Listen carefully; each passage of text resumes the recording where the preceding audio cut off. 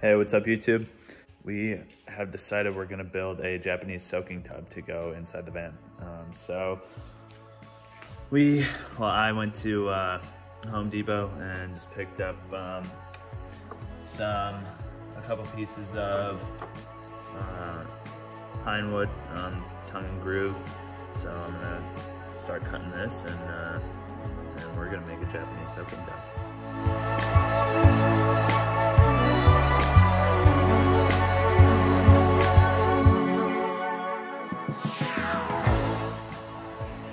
Okay, so almost finished getting all the pieces cut. Um, we decided what we're gonna have is two of the sides are gonna be 21 inches, so it'll be 21 inches wide, um, which means that the seat's gonna be 22 inches basically deep um, because you gotta account for the um, basically three quarter inch plywood on both sides.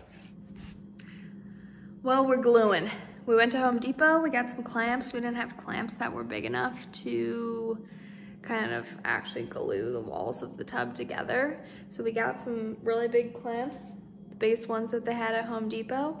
Um, and we came up with some crazy kind of clamping situations and we're hoping that they will work out. So also the glue that we're using, since it's gonna be a bathtub, um, it has to obviously withstand the water. Uh, so we're using uh, Titebond uh, 3. Here is our first attempt at clamping and gluing. With our second attempt, we have quite the setup here. So we ended up doing three boards at once. This is gonna be like one of the side walls of the tub, so like that you would lean your back against. Well, it's 1 a.m. 1 a.m. and we finished gluing everything. So we are definitely done for the night and we will pick this back up tomorrow morning. Yeah. And now what we're gonna do is cut the tongues off of everything here and there. So thought we were pretty close and of course nothing is just super easy.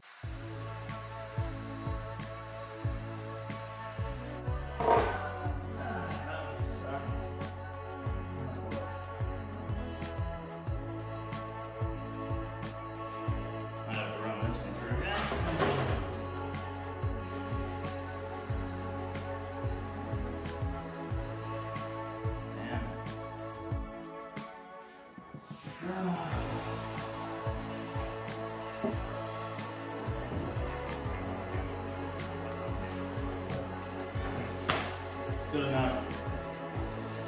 Officially got all the pieces lined up, cut to where they need to be, so now we're gonna sand them down.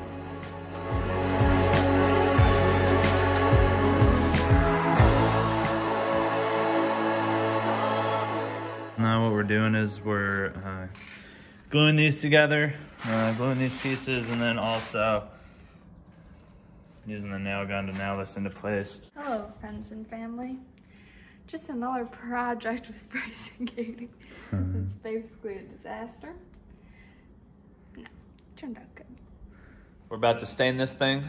We're using a, a hazelwood stain. Um, and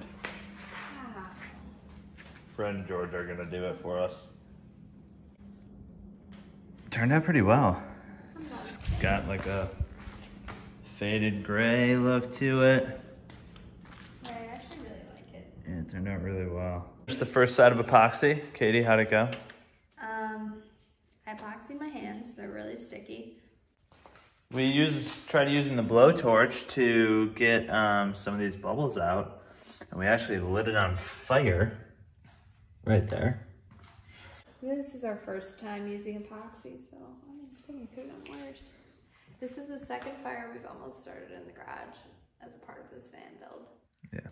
The first one was when we tried to light the oven for the first time. That did not go well.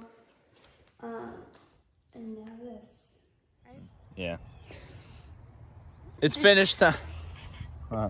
Covering my face. It's finished time. Stop. Okay. We're a little concerned because we really like the look of our bathtub the way it is right now, but we didn't put a finish over it, we just stained it.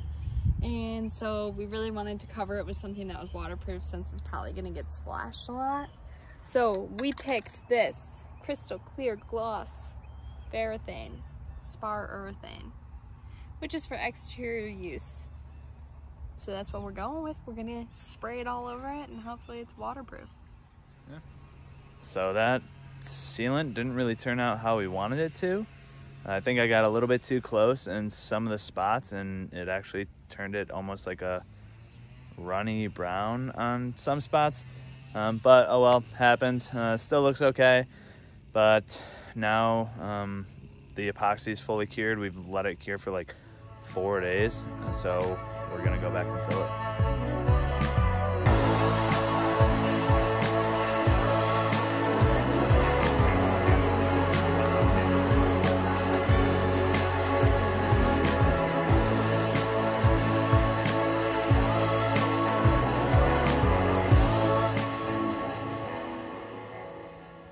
Testing it out for the first time.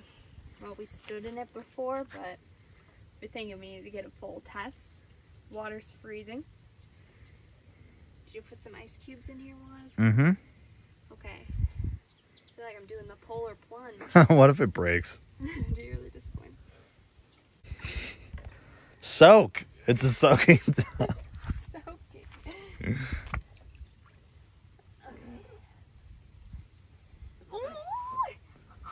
Nice. There you go. Now you're fine. Easy peasy. Katie, you crushed it. You made a Japanese soaking Okay, I'm tub. gonna lean back. All right. Just don't snap the back panel off. Thanks for watching. We're really excited about our new tub. Um, like and subscribe to the video. We really appreciate everyone who's following along on our journey. Uh, we're gonna try and keep our videos a little shorter because we know that It's hard to keep your guys' attention for 20 minutes. Um, so we're going to try to cut down on the video time um, and, you know, put content out there that you guys actually want to see. Um, so those were the do's and don'ts of making a, a Japanese soaking tub. But I think it turned out pretty well. Just try not to light it on fire like we did. yeah,